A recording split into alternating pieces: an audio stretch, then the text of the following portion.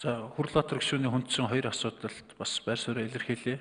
Ер нь ганц Увс аймагч биш, ер нь ус орон даяар энэ жил бол бас урд олон жилүүдтэй харьцуулахад нэлээд чанга өвөл болж явж байна. Чанга гэдэг нь би бол цасцууд гэхээсээ илүү температурын бас энэ бууралтаар одоо хамгийн хүүтэн Завхан аймагт тэгэхэд хасах 55 градус бүртгэгдлээ. Тэгээ ер нь бол энэ газар ус орон даяар явж байгаа энэ өвлийн ерөнхий явцтай холбогдуулаад засгийн газар бас яаралтай арга хэмжээнүүдийг бол цаг цохоод нь авж байгаа.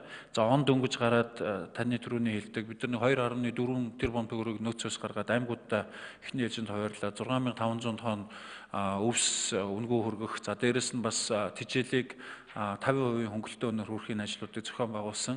За аймагуудаас өсөлт авч байгаа эхний явдлын нэг сарын шийдэл бол ерөнхийдөө нийт ус даяар хамарсан. За одоо сая бол бид нар бас саяхан шийдвэр гаргасан. Илүү одоо яг таны хэлдгээр увс болон бусад яг хүндэрч байгаа үйлжилт хүндэрч байгаа аймагуд руугаа илүү чиглэсэн 1.2 тэрбум дээрээс нь 4500 тонн бас яг шинэ 15 оныхоо өвсийг энэ хуваарлтуудаа хийгээд бас тижэл дээр 50% хөнгөлөлт өгөөд энэ ажлуудыг бол хийлээ. За 20 илүү машин зохицуулт хийсэн нэмж бас тодорхой хэмжээний машинуудыг яг хэрэгцээтэй байгаа аймаг сумдлоо хүргэх ажлыг одоо бол онцгой болон шадар шадар ахлуулсан комисс зохион байгуулж байгаа.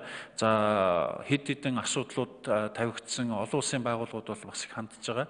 А бид нар бол улс орон даяараа илүү одоо байгалийн гамшиг гэж зарлахгүйгээр яг тодорхой аймаг сумдууд руу энэ олон улсын байгууллагуудын санд болгож байгаа тусламж дэмжлэг а бусад үйл ажиллагааг чиглүүлээ гэдэг энэ тал дээр бол бас шатар сайттай онцгой комисс дээрэс нь онцгойгийнхан маань ажиллаж байна. За Увс аймгийн засаг дарга цэнзүрэнтэй бид нар байнга холбоо бас авж байгаа. Тэгээ тодорхой хэмжээний энэ асуудлуудыг бол энэ өдрүүдэд бол зохион байгуулагдаад явнаа.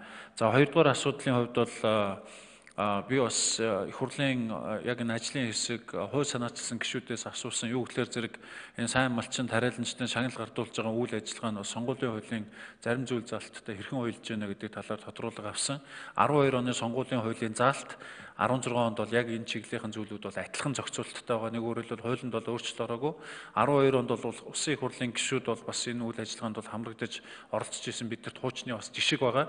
Ягаад их хурлын гишүүдийг бас оролцуулж байгаа нөхөр бид нар дөнгөж өчигдөр бол бид нар шийдвэрээ гаргалаа. Засгийн газрын ээжд бас хуралдаанаар тэгээд энэ сар шинийн шинийн нэгнээс өмнө энэ цөөхөн хоногудад зохион байгуулахад зөвхөн одоо засаг өөрөө бол ялангуяа хүн сүт аж ахуйн яам дангаараа зохион байгуулахад бол хүндрэл үүсдэг учраас улс орондоо ярин зохион байгуулж байгаа арга хэмжээнд тухайн тойргоо сонгогдсон гишүүдийн тусалцааг бол бас аваараа гэдэг асуудлыг хүнсүүд аж ахуйн яам тавьсан байгаа.